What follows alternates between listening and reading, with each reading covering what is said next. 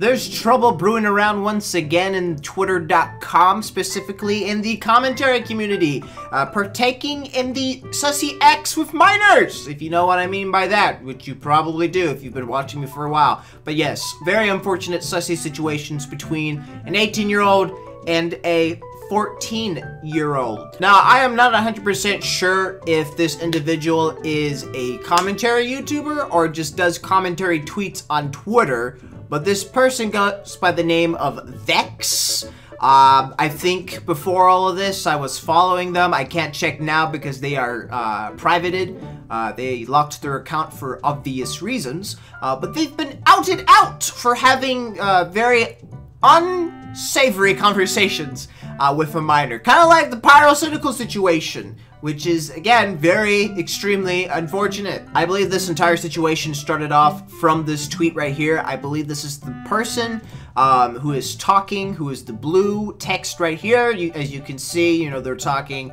Um, he, is, or they are, I don't know. Uh, he's 16. Very, you know, that's not a, that's not a good age to be talking in a very unfortunate manner to an individual like that. But as you continue on, they they seem a little horny, okay? Vix here seems like they wanna they wanna talk a little bit in a sussy manner, okay? Uh, but they notice that, yeah, yeah, he's 16, okay? And they're like, oh, I'm so sad, boo-hoo. But then, but then Vix continues on, and maybe some kisses too.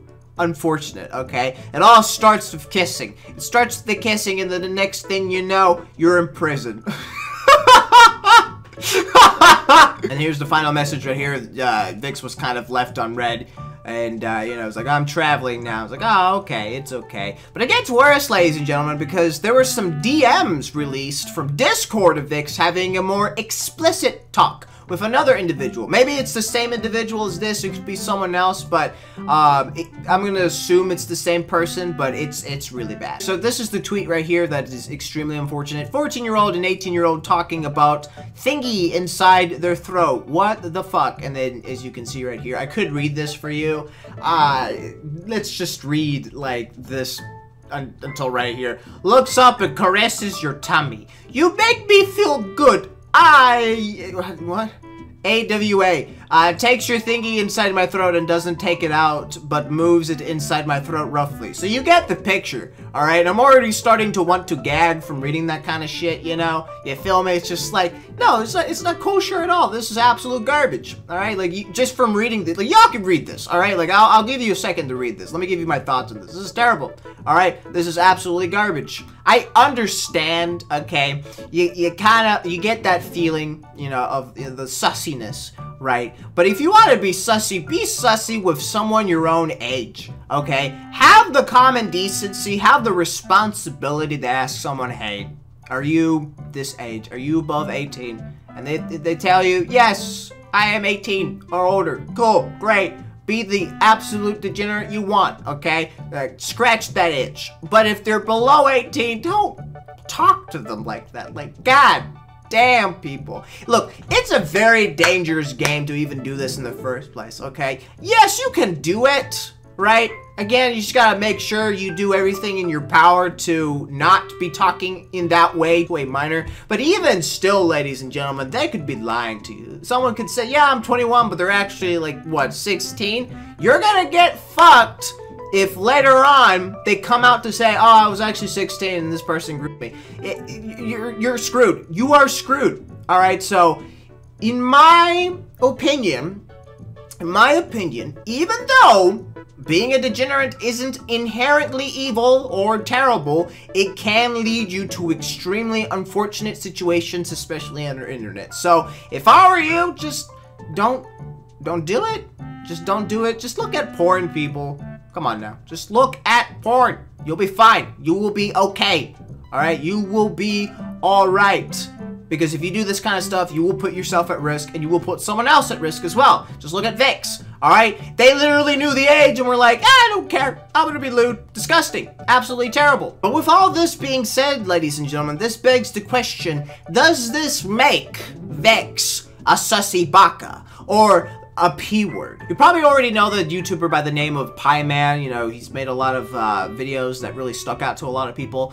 Uh, Pieman and another individual called Bunk made a Google document, which for me always has a really bad stigma to them. and just, just remembering back to the whole Turkey Tom situation, it's just like, ah, the Google Doc. You know shit's about to get real. Alright, you know sh the shit hit the fan when someone makes a Google document. All right, it's and then like fucking John Swan, Jesus Christ. But anyways, they made a a Google document claiming that um that Vexx is actually not a sussy baka.